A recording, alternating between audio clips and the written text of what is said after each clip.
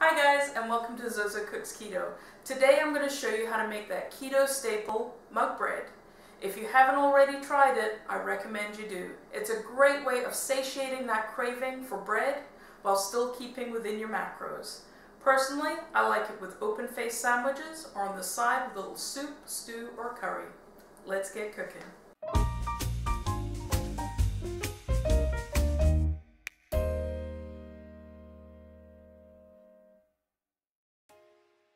For this recipe, you'll need 1 tablespoon of coconut flour, 1 tablespoon of almond flour, 3 quarter teaspoon of baking powder and a pinch of salt, 1 tablespoon of heavy whipping cream, 1 teaspoon of butter, and a large egg.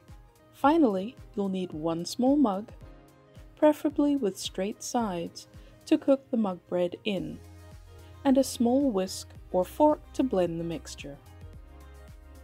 Let's get started. Take the butter and carefully grease the inside of the mug. Make sure to get all those nooks and crannies so the mug bread will easily slide out when done.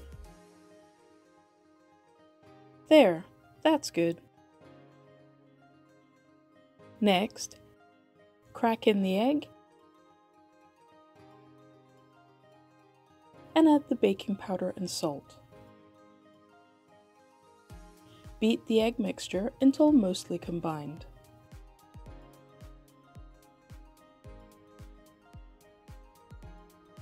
Add the almond flour,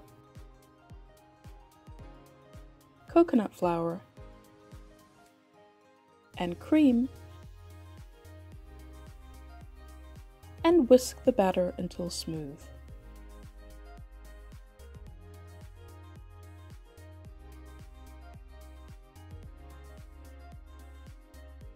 Take the cup and pop it in the microwave for 2 minutes.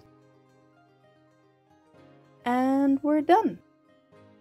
If using a small cup, the mixture should expand enough to slice the bread into four parts.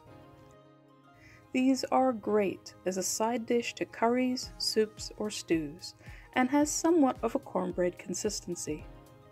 If you'd like to use this recipe for sandwiches, I recommend using a larger cup. It will give you more surface area to work with when loading on your favorite toppings. This can be a great solution for those needing a quick breakfast, lunch, or dinner. The macros for one mug bread are 19.2 grams of fat, 3.2 grams of fiber, 6.5 grams of total carbs, that's 3.3 net, and 9 grams of protein.